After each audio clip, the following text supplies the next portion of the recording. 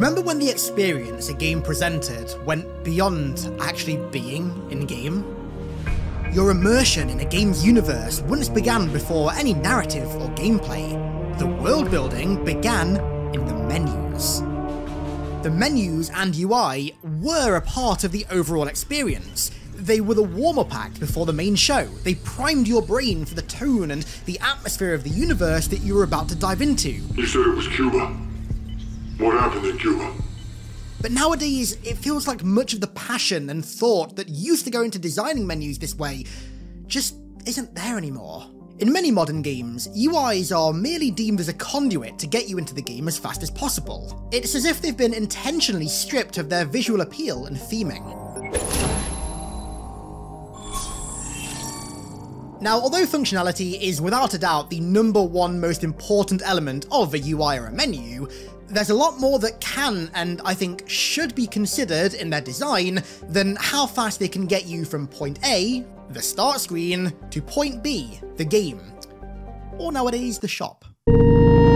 That said, I do find it ironic how in recent years, both UI theming and also functionality seem to have taken pretty significant hits. I mean, all you need to do is compare Modern Warfare 2 and Halo Infinite to their respective predecessors, and you can see how far they've fallen, and that's something that honestly really disappoints me. Don't get me wrong, there are so many other elements of modern gaming that disappoint me more than this. Monetization, unpolished content, botched launches, live service, boring progression, the list is never ending. But because I grew up playing games that put so much emphasis on their menus and their UI design, good menu design has really become a soft spot for me over the years. And I mean, after all, being out of game in the menus is as much a part of the experience as being in game actually playing. And what's interesting is this decline in UI design goes beyond just games. I mean, console UIs over the years seem to have declined massively, and for similar reasons. So I guess now is the best time to start talking about how menus and UIs have declined over the years, because so far this video has just been me reminiscing about better times. The two main areas of decline over the years have been theming and functionality, and both are equally as important for the overall experience. After all, first impressions are everything, and the first thing you see and use when you first boot up a game is the menu the UI, and as such, it should thematically prepare you for what you're about to experience.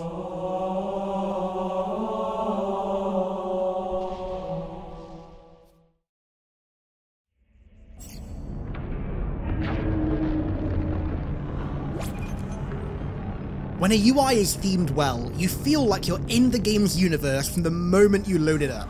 There's no delay between choosing to play the game and being immersed in it, the menus and UI are designed with the main themes and emotions of the game in mind, in order to prime your brain for the experience that you're about to go through.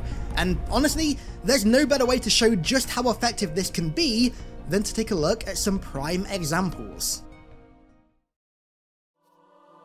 Browsing Halo 2's menu is an ethereal experience. Everything from the loading screens to the background, UI elements, scrolling glyphs, transitions, and even UI sounds make you feel like you're tapped into a foreign terminal, observing a mysterious race of schematics, ancient and incredibly enigmatic, whilst the blue hue and somber music give off feelings of sadness and melancholy. Black Ops 1 opens with you strapped down to a chair in a CIA interrogation room, disorientated and confused by the stacks of screens playing looping footage, the bright white lights, the ventilator aerating off beside you, and the figure interrogating you from behind the glass. You then switch to zombies, and this shadowy figure walks out, and in comes a zombie, banging on the glass trying to get into you, all the while you're still strapped to the chair, with footage looping on the screens.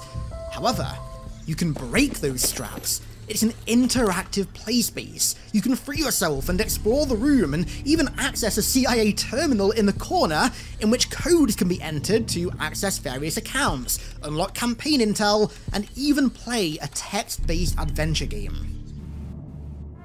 Gears of War's menus exuded terror, horror, and brutality, ominous in every way from its heavy use of reds, the film grain and the grittiness of the UI elements, and the flickering omen, ever present in the background. Metal Gear Solid 2's menus feel like I've tapped into one of the Big Shell's nodes, or like I'm interfacing with some kind of technology on Arsenal gear. It's advanced, technological, and almost imitates the feeling of a futuristic BIOS that boots before the main operating system. Dead Space's menu is like using a console on the Ishimura. The UI, sound, and transition design are all identical, but it's also really unnerving. The screen in the background with glitchy imagery of carcasses mutilated and diseased, flickering glyphs, unsettling sounds, murmuring and whispering send chills down your spine before you even hit play. Call of Duty World at War's menu is harrowing. The gritty, grayscale, slow, war torn environment pans in the background, combined with the menu theme with a German woman singing, Good soldier, good soldier, die with me, die with me, die with me, is nothing short of haunting. It invokes the horror of senseless loss, death, and destruction wrought throughout the world during World War II.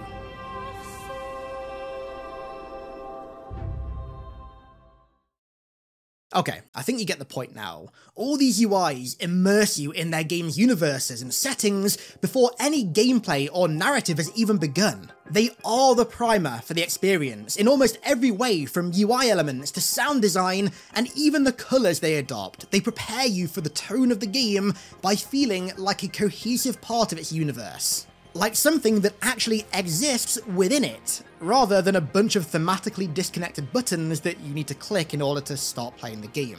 But nowadays, I find that UIs tend not to be designed with this level of cohesion in mind. For the most part, the priorities of game dev have shifted. Far less of an emphasis is put on making the best first impression possible nowadays, and instead, focus is put on dangling the carrot, so to speak. How often do you hear, don't worry, this game's gonna be good in a year or two, or don't worry, this game's gonna pull a No Man's Sky and have like an Apex Legends style resurgence? I mean, hell, games even market their roadmaps and future updates before the game has even released. The normalization of live service, of launching games devoid of content and broken but fixing them over time, has drastically reduced the impact of the first impression.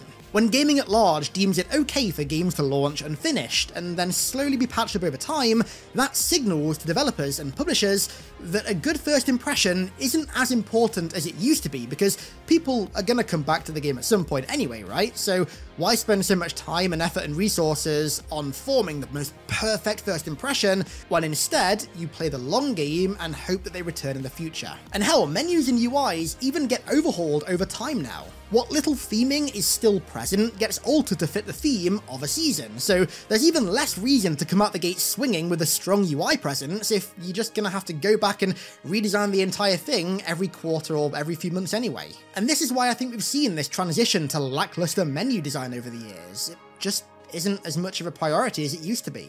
And I think the same kind of rationale can be applied to console UIs as well. One of my favourite aesthetics that humanity as a species have ever created is the original Xbox dashboard. It goes number one, Gothic aesthetic, number two, Halo Forerunner aesthetic, and then number three, the original Xbox dashboard aesthetic.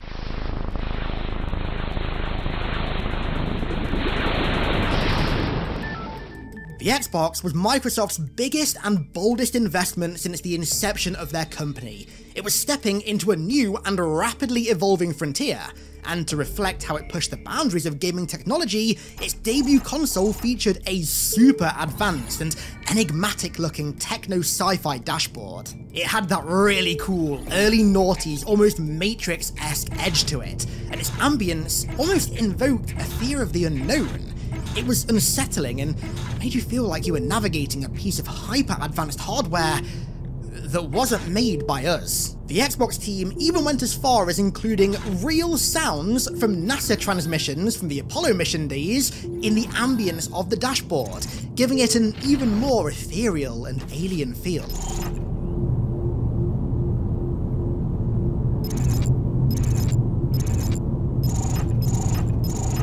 Then you compare that to the current Xbox dashboard. There's no stylization, There's no ambience, there's not even a single bit of theming. It's literally just generic boxes with ads plastered everywhere.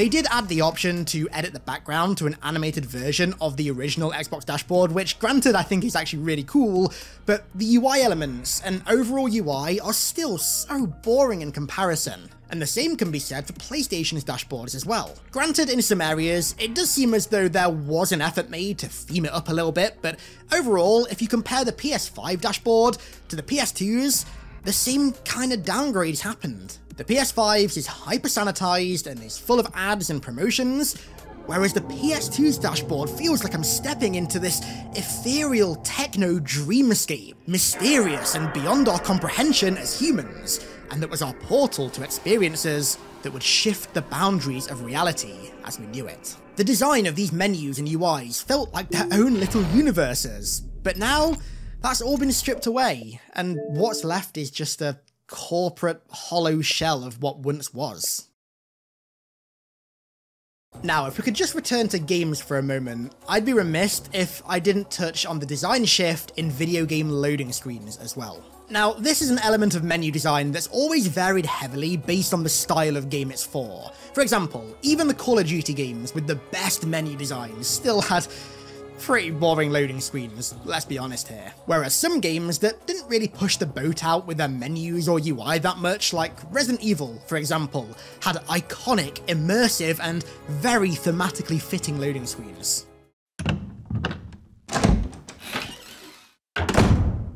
They also serve different purposes as well, and with that comes varying levels of flexibility in how they can be designed. Because their large and interconnected worlds require lots of loading, games like Dead Space and Mass Effect have elevator sequences instead of loading screens, where the loading screen is masked by a restricted gameplay section where the player is still given a degree of agency, however is more restricted than being in the open environment. But then you have games like Halo, where each level is entirely separate from the previous, and thus a seamless transition between them isn't possible. So, the developers chose to create stylized, aesthetic loading screens that, despite just really being a glorified loading bar, actually tried to uphold the theming of the game and be somewhat entertaining to sit there and watch. Halo's loading screens in particular, from Combat Evolved all the way through to Halo 4, all had immaculate theming that gave off a wide range of emotions, from ancient mystery to sci-fi militarism, depending on which game they're referring to.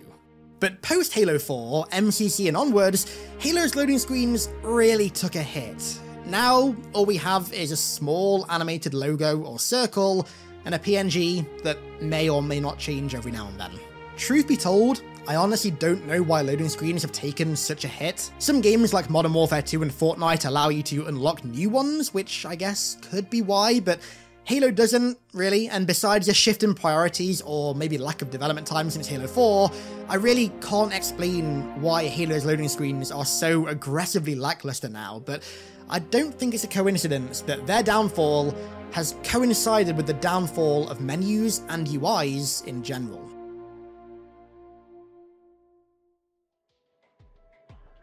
But a pretty UI can only go so far. The yin to menu theming's yang is functionality. A UI can be as aesthetic and pretty and cool to navigate as it wants, but if it does a bad job at getting you from point A to point B, then it's a bad UI, and some of my favourite long-term games suffer from this as well. Halo Infinite and Modern Warfare 2 are the shining examples of UIs that lack heavily in the functionality department. Although, granted, Modern Warfare 2's is so bad that it makes Halo Infinite look perfect. Going into specifics is honestly a waste of time at this point. People, myself included, have critiqued both these UIs to the end of the earth, so there's nothing really new that can be said. So instead of focusing on them specifically, let's instead look at the kind of general design philosophies that UIs and menus have adopted that stunt functionality and accessibility. Firstly, modern gaming has this aggressive fascination with side-scrolling UIs and boxes. This style of menu design is massively inefficient. The same amount of information is displayed on screen as in previous designs, except to display that information now takes up far more real estate on the screen, and because most of the time the boxes on the screen are in fact rectangular, they also take up more horizontal space. You then couple that with a side-scrolling UI, and drastically less information can be displayed on the screen at once. Instead, you have to spend ages scrolling to the side until you eventually find what you're looking for. And this issue is only further exacerbated by the amount of content in modern games. Where they're lacking in macro content like modes and staple features, modern games are packed full of micro content like cosmetics and personalization features, and the volume of this content only increases as the live service goes on, so what you end up with is a UI that just takes years upon years upon years to scroll through to finally reach what you want. And where does this style come from? Mobile games and tablets. Ever since Windows 8 adopted the tile design so it could better suit tablets, every user interface under the sun has begun to shift toward it, and as much as I wish I could quote Paramore and say that Unfortunately, I can't. But just like how UIs began to imitate mobile games when they were drawing in the mass audiences, Modern Warfare 2 has begun what is likely to be the next stage in the downfall of menus and UIs, the streaming service age. Every man and his dog uses one, two, if not five or six streaming services nowadays. Netflix, Hulu, Disney Prime Video, Peacock, HBO Go, BritBox. There are a billion and one streaming services that have entered the entertainment market to try and replace conventional cable TV. All their UIs are absolutely identical. Side-scrolling UIs with massive boxes and obnoxiously large thumbnails behind them, totally homogenized. And because so many people use these streaming services, Infinity Ward decided to have Hulu UI designers malform Call of Duty's UI into a streaming service UI, and the results are, I'm sure you've heard, abysmal. Convoluted, messy, unintuitive, inaccessible, and just downright confusing. Just about everything that you don't want from a UI's functionality, the Modern Warfare 2 UI has, and I fear, I really fear, that other games are going to follow suit in the future because of the popularity of streaming services. What needs to happen is a return to the glorious drop-down menus of old. Classic Call of Duty games, Halo 3, Reach and 4, Battlefield 4, all games that embrace drop-down menus in varying manners, and all games that had fluid, efficient, and easy to navigate UIs. Gaming needs to embrace the drop-down menu once more. Gaming UIs are already becoming far too similar for my liking. Individuality is being slowly eroded in favour of making a UI that the mainstream masses recognise and are used to, and I honestly think that's only going to get worse in the future. And because of the strict way these UIs are designed, theming is limited as well because they have to conform to very specific predisposed design philosophies, as opposed to allowing designers to kind of dip into elements of the game and its universe for inspiration. You think about Halo 2's UI, there's no way that if Halo 2 were to release again today and have a streaming service UI, it could adopt the same themes and layout and aesthetic as Halo 2 used to.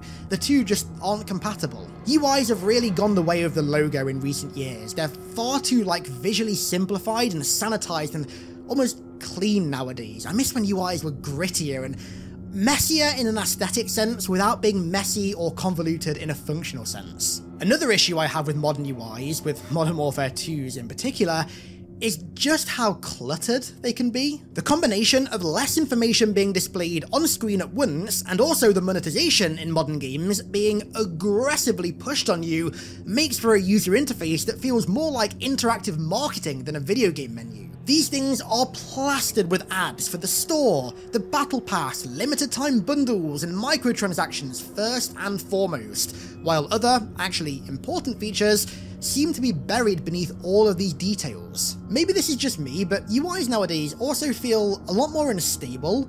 Like, I don't ever remember having any issues with World at War's UI crashing, or with Halo Reach's UI lagging and not loading. Maybe it's because everything's online nowadays, and thus is hosted on servers as opposed to being stored client-side, so the game constantly has to connect to the internet to load UI elements or something. I don't know if it's that, no idea, but UIs in modern games just, they seem to break a lot more than they used to in older games. Overall, functionality seems to be suffering from games' intent to design menus that don't look, feel, or navigate like video game menus. This insistence to bring design philosophies from completely different sectors over to gaming does it no good in the theming department or the functionality department. The reason we have such fond memories of classic video game menus is because a conscious effort was clearly put into making them feel like a cohesive part of the world that we were about to experience, whilst also remaining intuitive to navigate. I want UIs and menus to make me feel something again, I want UIs to invoke emotion, menus that immerse me before the gameplay even begins, and out of game experiences that still feel like they're rooted in the universe. So, I'm going to throw it to you guys now. Do you agree with me that video game UIs and menus feel like they've gone through a downfall in recent years? What's your favourite video game menu or UI, and do you think we'll ever reach the dizzying heights of Halo 2, Black Ops 1, or Gears of War ever again? I'd love to hear from you down below in the comments. And so, with that said, let's round this video out here. I really hope you guys enjoyed. This is another branch out video, so if you enjoyed, then of course make sure you show some support down below. And if you somehow haven't done yet, make sure you hit that subscribe button. Your boy would uh, greatly appreciate it. Thank you very much. So, yeah, let's round it out there. I want to give a massive thank you to all of my amazing patrons for the continued support over there, as per usual, and thank you all so much for watching. I really, really do appreciate it and I'll catch you all in the next one.